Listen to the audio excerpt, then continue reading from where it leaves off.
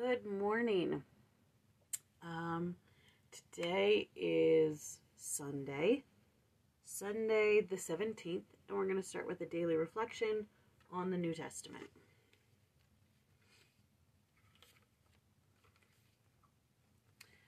Ye are a chosen generation, a royal priesthood, and holy nation, a particular people, that ye should shew forth the praises of him who hath called you out of darkness into his marvelous light. 1 Peter 2 9. The saints of God are called to be cho- a chosen generation, a, pa- a particular people. In addition to acknowledging that we are a purchased people and thus that we are not our own, we are also called upon to stand apart from the world and from worldliness. We are particular in that we are different, our standards, our taste, our and our lifestyle. Because we have left the darkness of the world and come into the marvelous light of the gospel of Jesus Christ, we cannot afford to compromise our commitment or dilute our discipleship. Our heart is in Zion, our place with the people of God. Okay.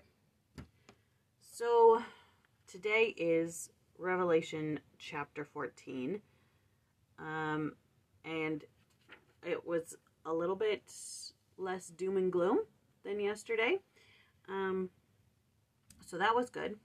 Um, let's see. The Lamb will stand upon Mount Zion. The gospel will be restored in the last days by angelic ministry. The Son of Man will harvest the earth. So, yesterday we talked about. Sorry, my hair is. Anyways, yesterday we talked about like the doom and gloom and the war in heaven and and Satan and his minions having, you know, a temporary victory over, you know, the children of men. Um, so we had that conversation yesterday, and now, thank goodness, here comes the Savior to rescue us all. Hallelujah. Literally, like, you read 13 and you're just like, ugh. And then you read 14 and you're like, oh, goodness. Okay, thank goodness.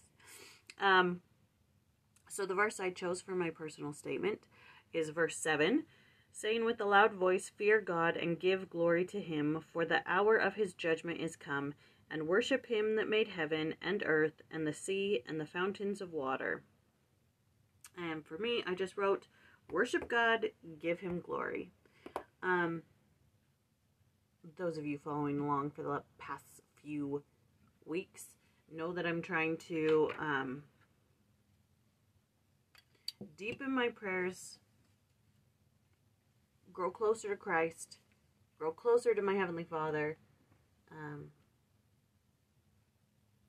and, and the way that I'm trying to do that is a couple of challenges. We're doing the Book of Mormon challenge next year. I'm also doing a um, general conference prep challenge for myself. Um, and um, I'm also trying to make a prayer Book of Mormon. I'm going to make a separate video after I'm done with this one about all that.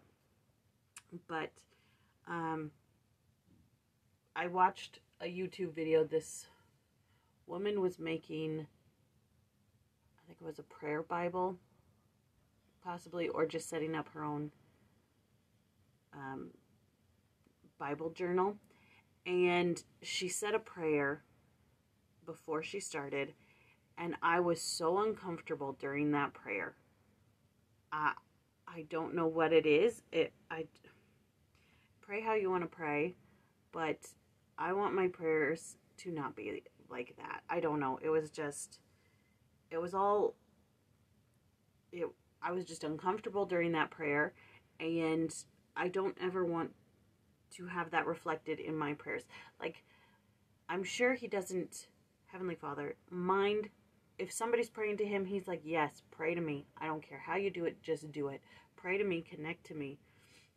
I don't ever want him to feel uncomfortable when I do my prayers you know, or like he's like, can't think of anything else to say, Hey, Haley.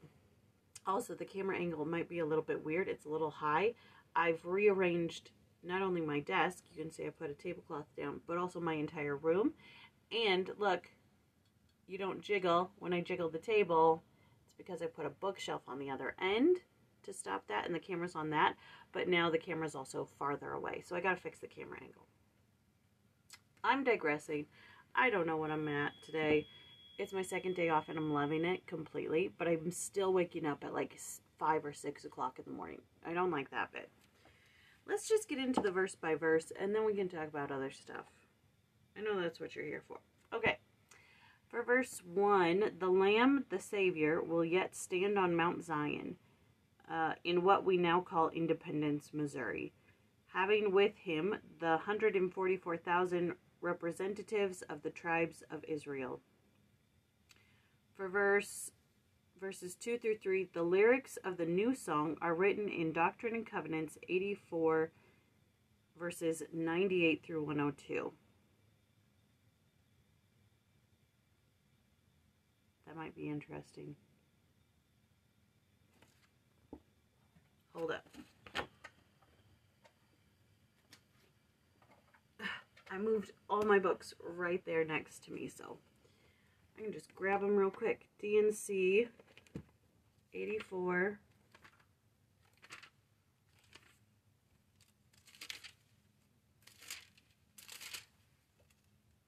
Come on.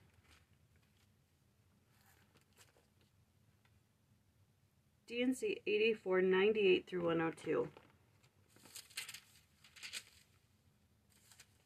Until all shall know me who remain, even from the least unto the greatest, and shall be filled with the knowledge of the Lord, and shall see eye to eye, and shall lift up their voice, and with the voice together sing this new song, saying, The Lord hath brought again Zion, the Lord hath redeemed his people Israel according to the election of grace which was brought to pass by the faith and covenant of their fathers.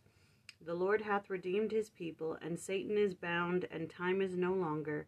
The Lord hath gathered all things in one. The Lord hath brought down Zion above. The Lord hath brought up Zion from beneath. The earth hath travailed and brought forth her strength. The truth is established in her bowels, and the heavens have smiled upon her. She hath she is clothed with the glory of her God, for he stands in the midst of his people. Glory and honor and power and might be ascribed to our God, for he is full of mercy, justice, grace, and truth, and peace forever and ever. Amen. That seems like a prayer that needs to go into the prayer Bible, prayer Book of Mormon, prayer doctrine and covenants that was nice. I liked that. Okay. Um, for verse 6, we have traditionally identified the angel flying through the midst of heaven as Moroni, even though other scriptures clearly suggest a number of angels or messengers. Therefore, this is a composite angel involved in the restoration of all things. Um, for verse 7, a commandment is given to praise, respect, and worship the God of heaven and earth. For verse 8, the fall of Babylon is announced. The wine of the wrath of her fornication, Hebrew and Greek text indicate that Babylon, or the great and abominable church of the devil, uh, has caused all nations to drink of the poisonous wine of her fornication. 9 through 11 Those who worshipped the beast will suffer and will have no rest. They will not be able to enter into God's glory. 12 through 13 Those who did not worship the beast will be blessed. Uh, 14 through 20 This event seems to be the same one seen by Daniel in 7 verses 13 through 14. The resurrected Savior comes with a crown of glory and power, and with a sickle of judgment. The world is then harvested. Verses 17 through 18 Another angel is a destroying angel who is also thrusting in his sickle. The image of the winepress being trodden is reminiscent of Isaiah's similar vision. Okay. Uh, I don't think I have any more or anything else to say about that. I don't. Um, all right. Do I want to say anything else? No. I will leave you now with a prayer from a diary of prayer. It is the 17th, and we've got two. These are for children and parents. One is from the BBC, and one is from Leslie Weatherhead. O Lord Jesus Christ, be near to all young children, that in the peril and confusion of this time their growing spirits may take no hurt at our hands, and grant to parents such sure knowledge of thy love that they may guide their children with courage and with faith. Lord Jesus, who didst love little children and who taught us that of such is the kingdom of heaven, show us new ways of protecting them and a new determination to care for the children of all nations that grow up to know and love thee. They may make the world more like thy plan for it. So many so may thy will be done on earth as it is in heaven. Okay. That was Revelation chapter 14.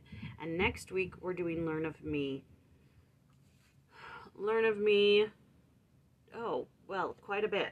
Okay. So tomorrow, I wasn't clearly not thinking when I did this, but tomorrow we do Learn of Me chapters 51 and 52. Let me grab that real quick.